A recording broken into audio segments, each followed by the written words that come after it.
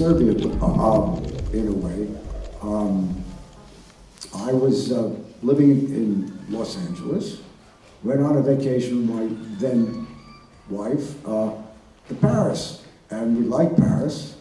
This was uh, in early Gorbachev days, and I was really interested in what was happening in, in the Soviet Union then. It was a very important thing. Yeah, those were the times that they were opening a bit more to, to, to the West. Well, they weren't exactly opening to the West, they were opening themselves up. Yeah. Uh, um, they didn't really care that much about the West, and it turned out that they got screwed. But um, so I went. To, we went to Paris for vacation. Came back, and I got the idea to write a novella about uh, about about about that called uh, La Vie Continue, and that was also the English title, in which I was a character myself living in Paris, um, and that was written in Los Angeles. Uh, and then I wanted to uh, have some excuse to spend a long time in, in France, uh, uh, at, and at the same time uh, to write a novel about uh, what was happening in, in, in the then Soviet Union. Uh, so I got a contract to write Russian Spring. Uh, I mean, I, uh, in, in Paris. although the thing is, although the novel is called Russian Spring, uh, most of it takes place in Paris, but part of it takes place in Russia. So um, I had to get to go, get into the Soviet Union to do research for this novel, um, which wasn't so easy. In fact, it wasn't easy at all. Um, I, at that point, was the president of something called World S. Well, actually, before that. Anyway, it's, it's, all complicated. I'm a citizen of the world. But I was living in Paris, and I was in um, Budapest, and I met, um, I had got the car, I was writing Russian Spring, but I hadn't gotten into Russia yet. Uh, uh, I met uh, um, a publisher. Well, not a publisher. At that point, he was um, um, willing to be. Well, he, no, it was, he, was, he was a Russian publisher. He was a Samizdat publisher. Mm -hmm. uh, and uh, he was out, I met him in, Buda, in, in Budapest, where he said, oh, I'm, I'm, I'm now at last allowed to be in a free country, uh, which was then Hungary. So uh, I made the arrangement also to publish the book in Russia. The first time that this sort of thing has been done, to publish it in Russia first. But in the meantime, I've written two drafts of the book without ever getting into Russia. Uh, finally, I got into Russia through the Writers Union. At that time, I was the president of World SF, and it was all kind of political stuff with the KGB and all that kind of crap. Finally got in there in the dead of winter. Um, and that was my beginning that Budapest and that was my beginning with uh, what I call the Wild East, because after the Wild West in, in America, because everything was going on everywhere. Um, um, the Soviet Union was opening up. Uh, there was a world convention, World Science Fiction Convention in Das Haag, in, um, in the Netherlands, where for the first time there were people from the East coming to the West. Uh, and they uh, really didn't know what was going on. Um, so that was the beginning of the whole thing, was, was, was the winter uh, I think it was 1989, it must have been. Yeah, I think the, the World Con, 1989. Yeah, the. World Con was in And, 1989. and so that was the beginning. Um, in order, I had a car, we rented a car in order to drive around to see, you know, to see what we could see. Um, and in order, we wanted to go to, to uh, Prague. But in order to go to Prague, it was very hard to get a hotel at that period. It was all crazy. Uh, uh, so in order to go to, to get a hotel room in Prague, I had to promise somebody who later turned out to be the arms uh, uh, distribution guard for Czechoslovakia. I didn't know it at the time. He was also a publisher uh, of, science fiction. So in order to go to get the room in, in, in Prague, I had to agree to going to uh, uh, Slovakia uh, at, at, at the first thing that they had a science fiction convention there. They had no idea what it was. Uh, they had a Star Trek thing that was um, pirated uh, and with a voiceover in German with Slovakian subtitles, uh, and it went on from there. Um, so the people ask me why I stayed in Europe uh, as a writer. And what I usually answer is that Europe, for me, was not just like a, a science fiction writer or, or writer in general, but particularly for, for science fiction writer writing about the future, writing about other worlds, that Europe um, was not just another world, it was another solar system. You had big planets like France and England. Well, England is not exactly part of Europe, or, so they think. Uh, you know, France, Germany, Italy, and then you had smaller moons. Uh, this is one of them. Uh, uh, uh, Serbia, um, Montenegro, which I've never been in, but Slovakia, which seceded from Czechoslovakia. The, this is at the time that the, that Germany was being reunified, and that was totally crazy. Um, because we spent time again at another convention in East Germany, where people coming from West Germany, and they had no idea where they were. That that was another world to them too. Uh, one of the reasons that, uh, I, I, I helped, I had to help a, a West German get back into West Germany from East Germany because I knew more about East Berlin than he did because I had been there before. Uh, uh, at this point, they ta- they, there were streets and, and metro stations that had no names because the previous names were things like Rosa Luxemburg and Lenin and stuff like that, and they were tearing it all down. Um, it was it was fascinating. It was crazy, um, and um, it was much more interesting just on on. Uh, on personal grounds, but also on literary grounds, to, to stay in Europe. And, and, and that's how I stayed in Europe. Then, well, then there was 9 11, which I had been back in the States with Donna. And then uh, she came back to, France, and we came back to, to New York. Now we have settled in Paris. And in the last month, we've been in four different places. We've been, well, five different places if you count Paris. We've been, we've been in Paris. We were in Barcelona the day of, of, of, of you know, of, of the tragedy, the day, the day of the uh, terrorist attack. Uh, we just came back from uh, Nantes for the Utopiales, which is the biggest and best science fiction event on the planet. Um, and before that, I was in, we were in Rennes in, uh, doing a, a, a, a short, um, a short film uh, uh, presentation where I was the, the, the, pre, you know, the president of the jury. When people ask me am, whether I'm a political refugee, uh, and that's why I'm in France, it's not yet. Uh, uh, I, I didn't leave the United States because I detested the United States and had to flee. Uh, rather, it was positive. We came to Europe because it was more interesting to be in Europe. And as, as, as and as a writer, this is where things were happening. Um, and that's, how I can, uh, I also, well, uh, there's so much of this stuff. I, there was um, a man named Ion Hobana, who was, who was, who was a Romanian fan, supposedly. And this is under Ceausescu, and they um, somehow allowed him. They somehow he somehow went was able to go to the West and go to these conventions. Uh, when Ceausescu fell, uh, and, and, he dressed like you know like fans or something. Uh, no, he dressed he dressed in that silvery, cheap KGB suit. Uh, and when Ceausescu fell, um, he came out again. And he was dressed like for the Polo Lounge in Hollywood.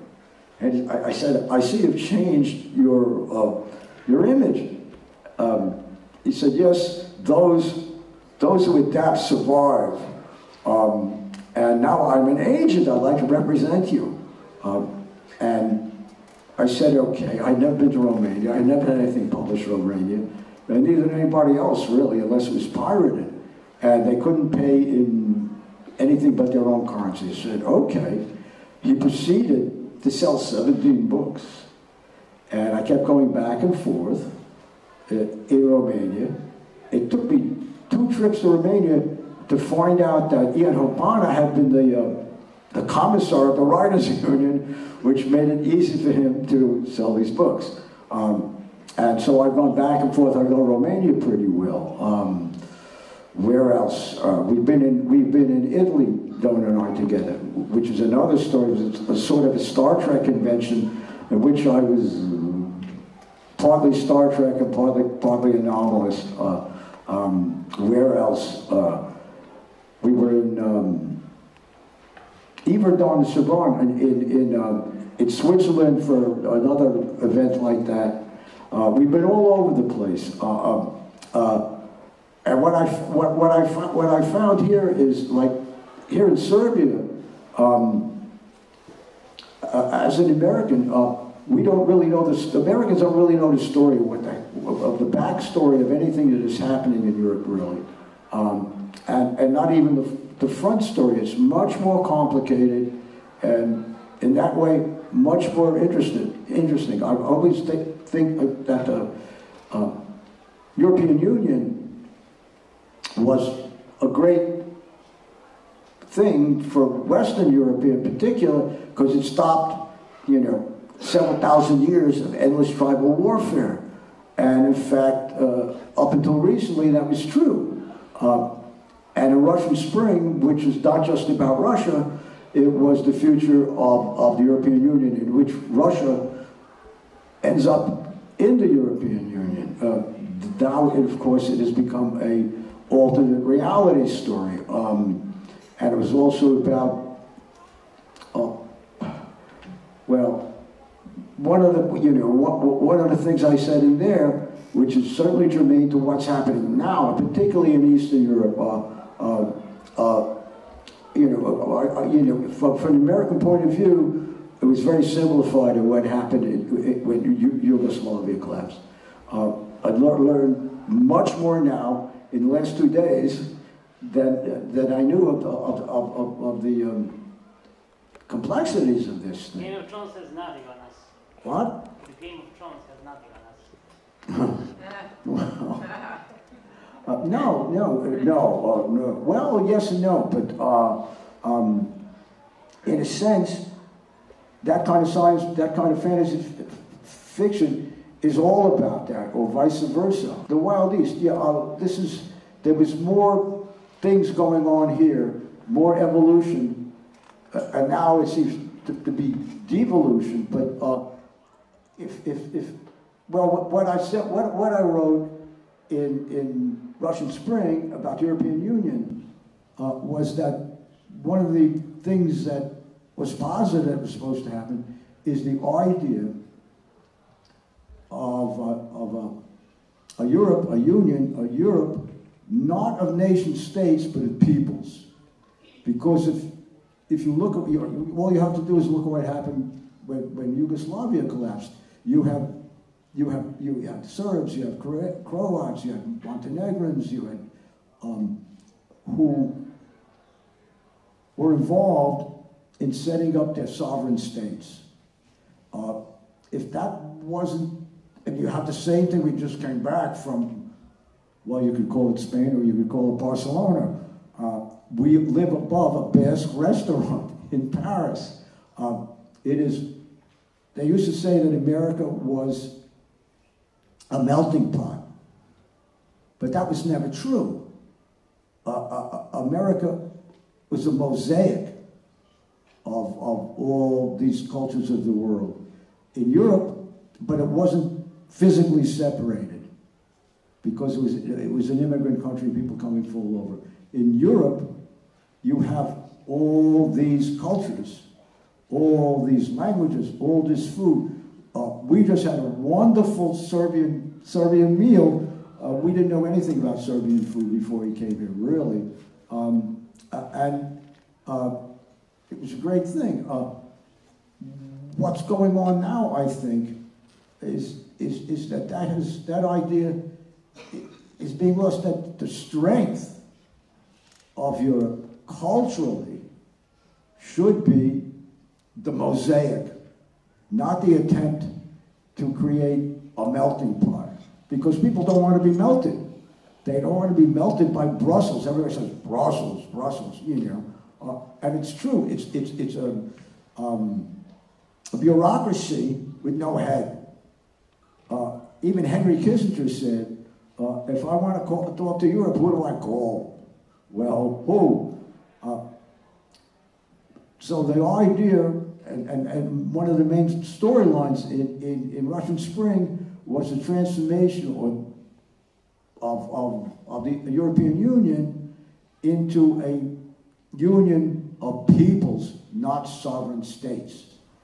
Uh, it admittedly, um, for various reasons, when I didn't realize I was doing it with, with other, other books, uh, uh, um, Child of Fortune and Void Captain's Tale, these were working, if not utopians, very advanced cult, cultists and societies with no governments.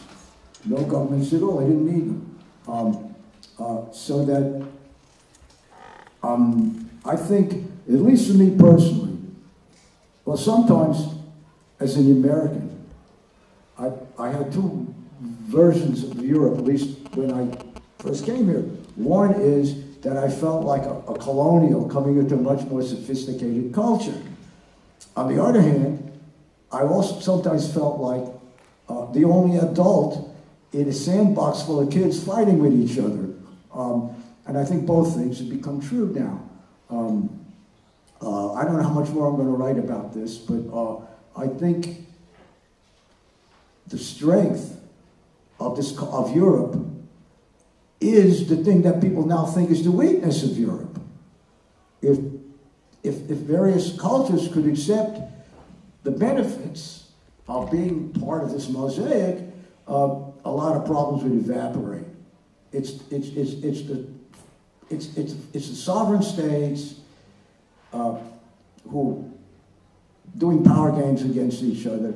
It's, it's, it's, it's the um, social and tribal and ethnic and cultural subcultures that are, are fighting, in some extent, to be sovereign states.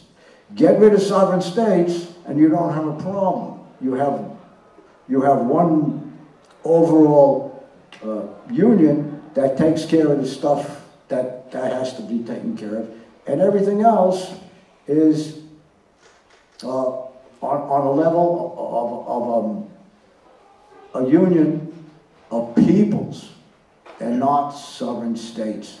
Um, and that's the beginning of this. I mean, like, like this. You have any other questions? I'm, I'm, just trying to lead into this. It's very complicated.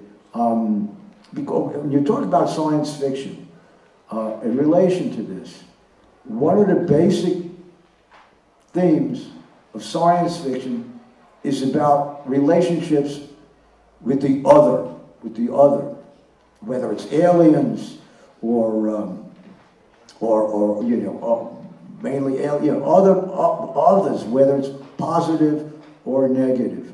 Usually it's negative because that makes for good drama.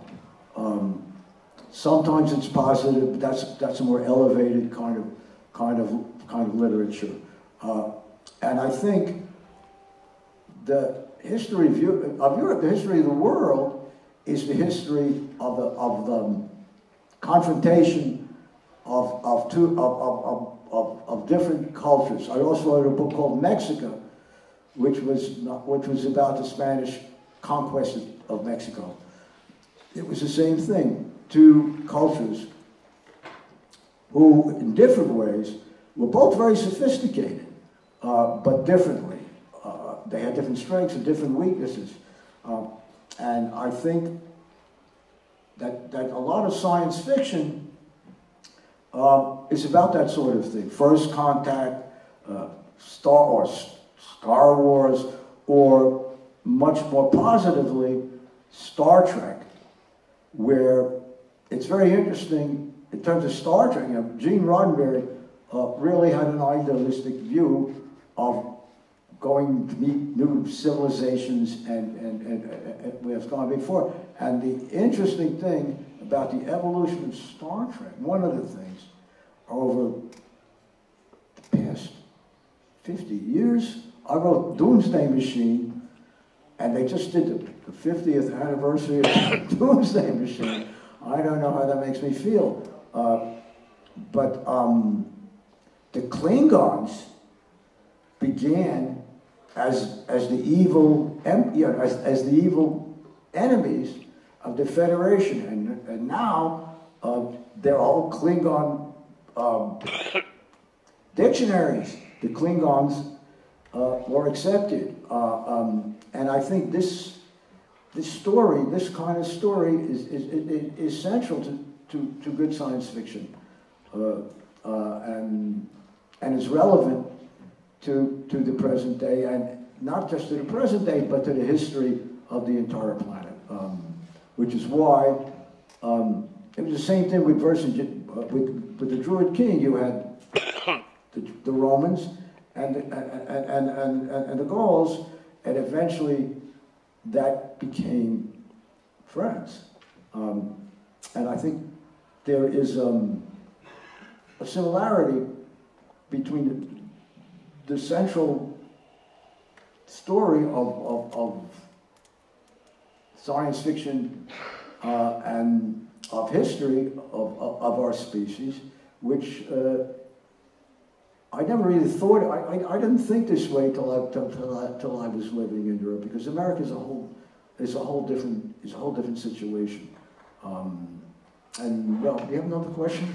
Uh, you're mentioning Druid King, uh, it was based on a, on a film. Can you tell us a little bit about yeah, it? it was based on a film, uh, um, a terrible film. Um, I, I was involved in, in, writing seven, seven versions of this film, uh, which was shot, which was shot in Bulgaria. It was shot in Bulgaria. It was supposed to be shot in Romania, but the Romanian army wouldn't wear the costumes of the Romans. So it was shot, it was shot in Bulgaria. Um, it was the, again, it was that story. It was the story, it was one of those stories. It was the story of, the, of, of, of, a conflict between Julius Caesar and Vercingetorix.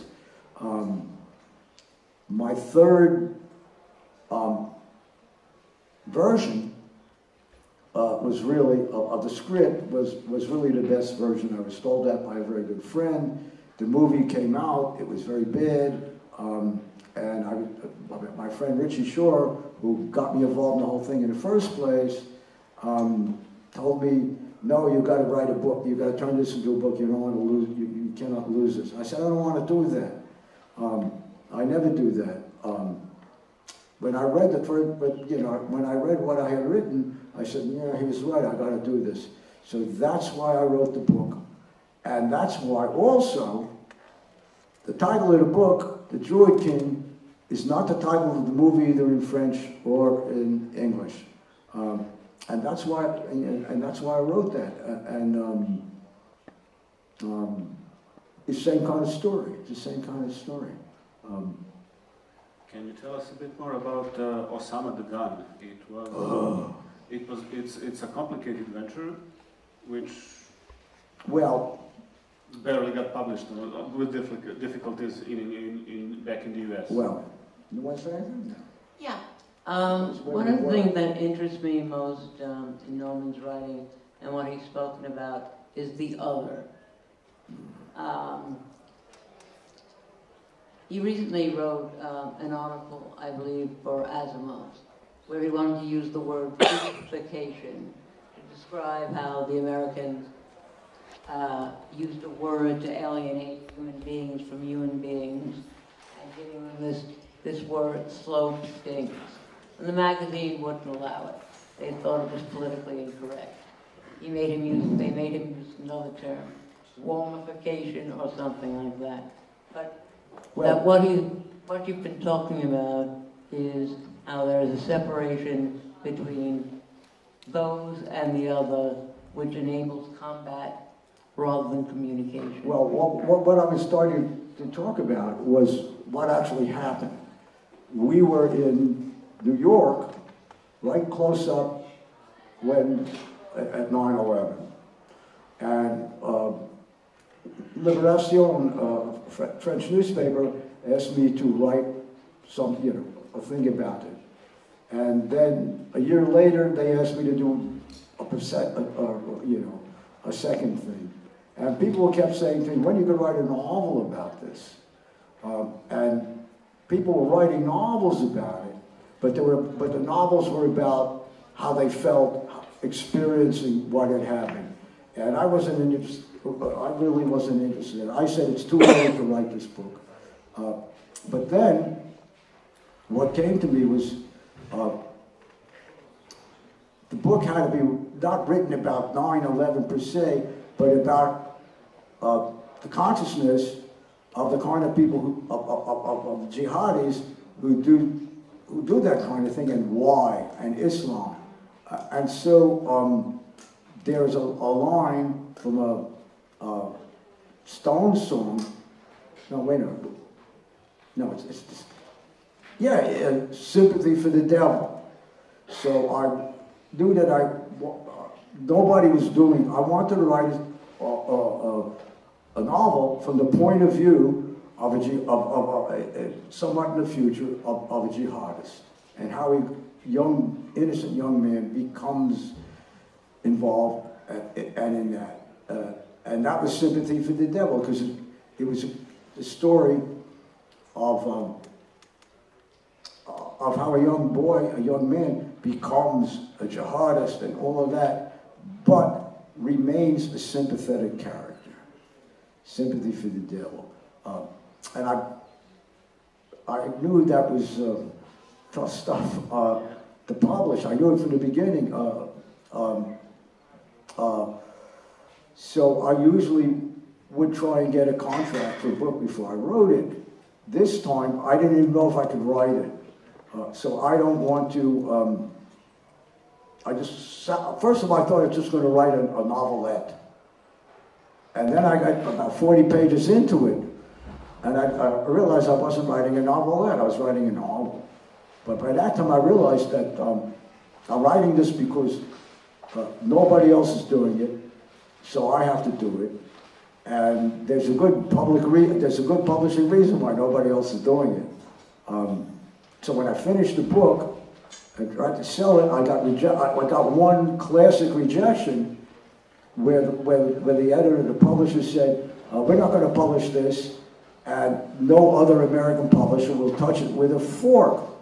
Uh, and they didn't. Uh, um, meantime, I was able to publish it in French. It was published in French long before it was published in the States. It finally got published in the States uh, in a small press last year, uh, or maybe it was this year. Yeah, no, yeah, it was the beginning of this year, um, because it was, it was, you know, it was politically hot potatoes. It, uh, uh, but because because it was hot potatoes, that's why I felt it had to be written.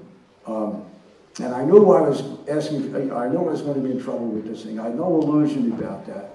I didn't try and, and get a contract to write this thing because I knew I would never get it.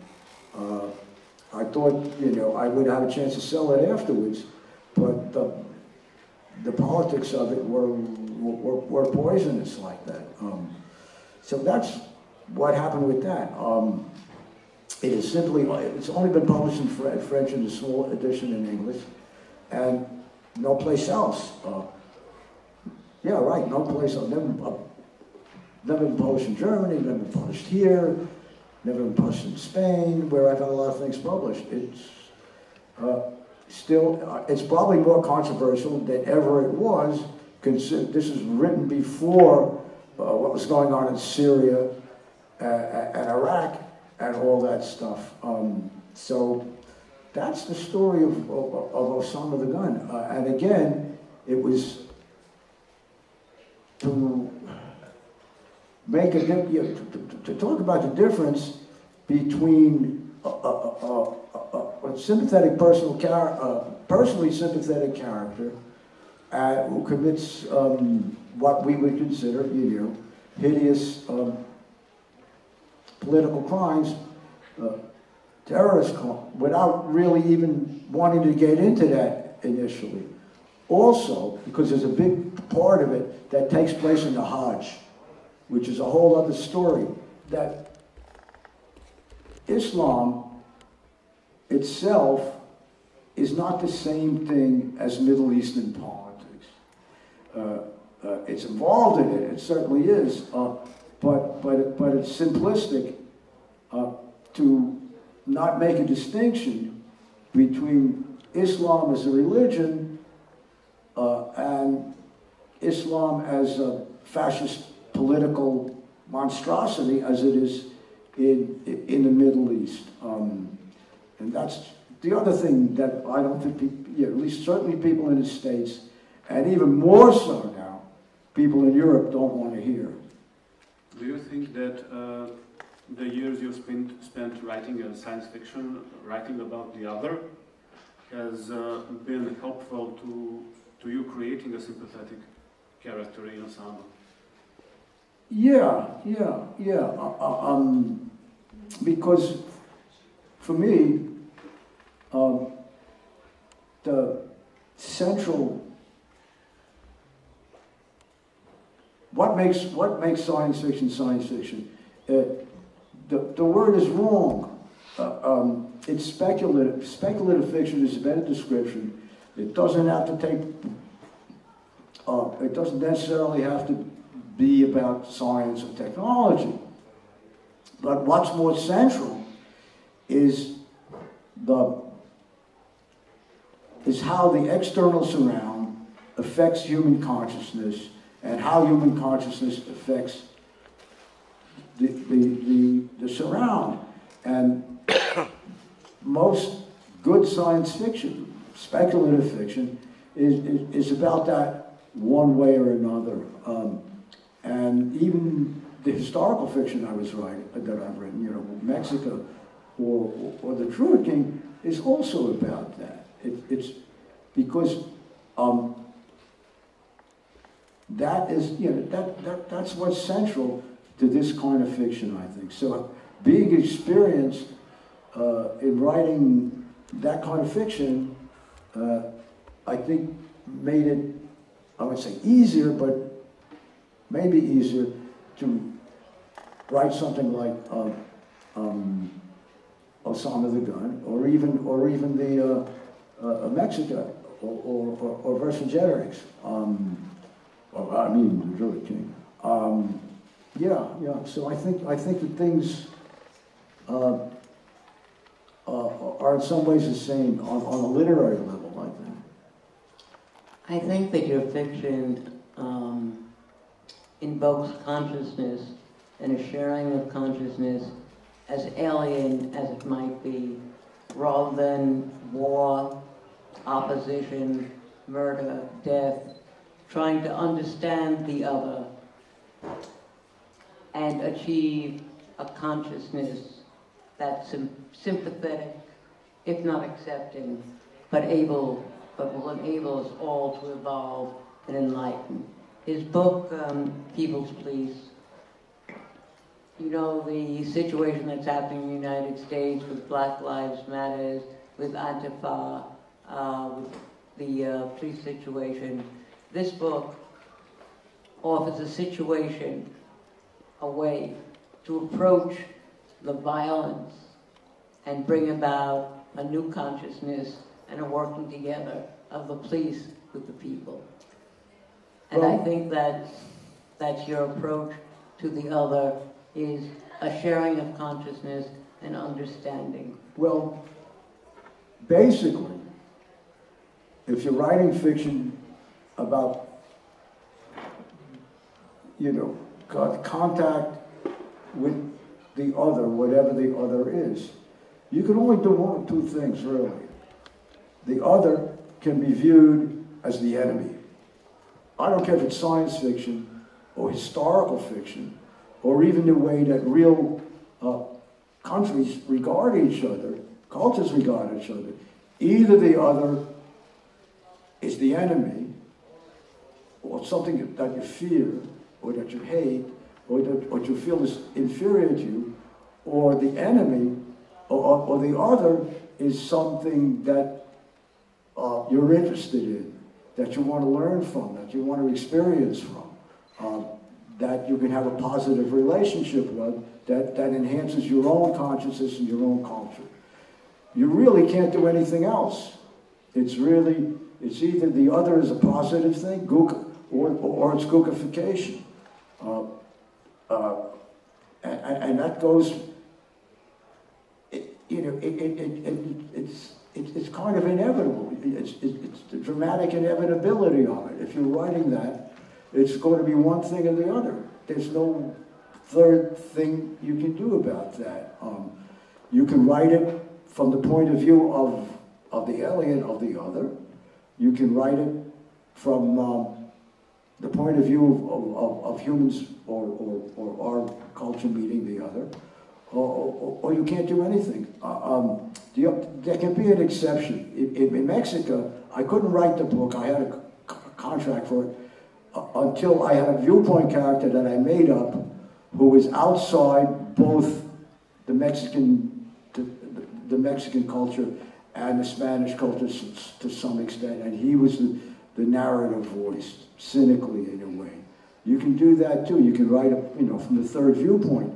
But basically, uh, I think the history, the entire history of the planet, is really revolving around the clash, the clash or the meeting between different cultures and different civilizations. It's inevitable. That's that's that's a, that's a story of our species.